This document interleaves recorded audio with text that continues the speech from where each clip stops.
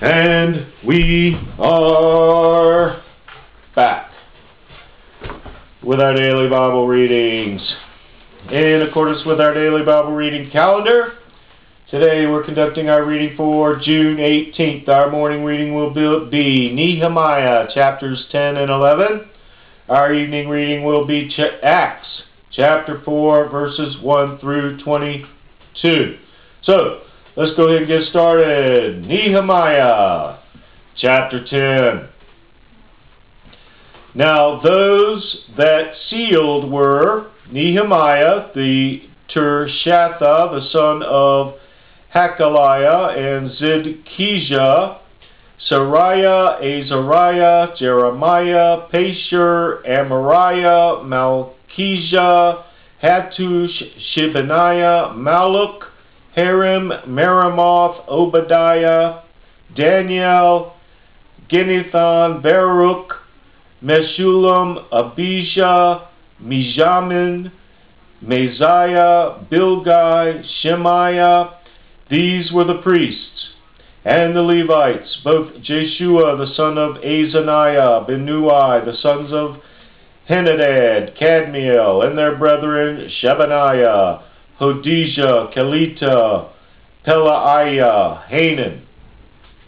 Micha, Rehob, Hashabiah, Zaccur, Sherebiah,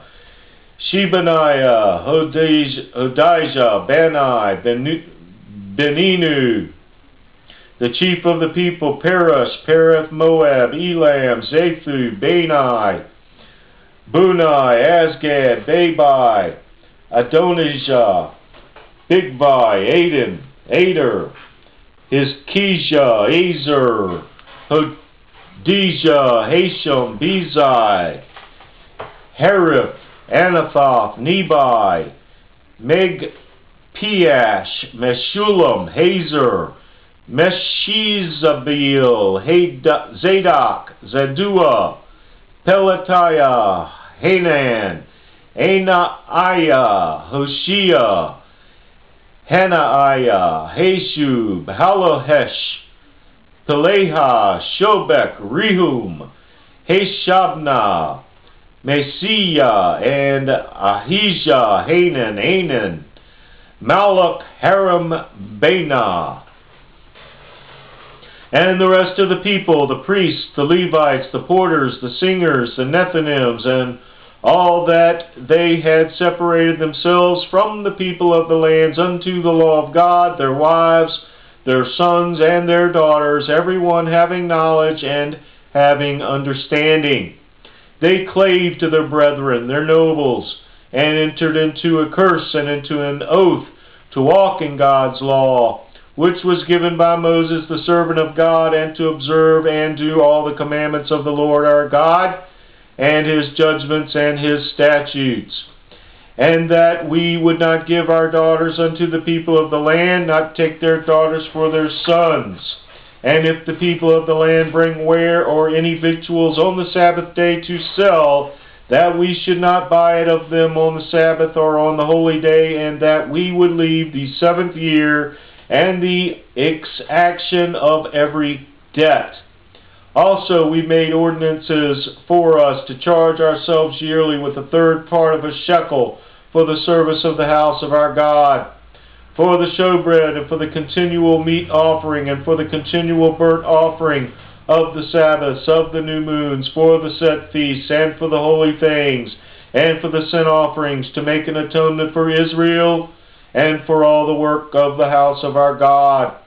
And we cast the lots among the priests and Levites and people for the wood offering to bring it into the house of our God after the houses of our fathers, at times appointed year by year to burn upon the altar of the Lord our God as it is written in the law, and to bring the first fruits of our ground and the first fruits of all fruit of all trees year by year unto the house of the Lord.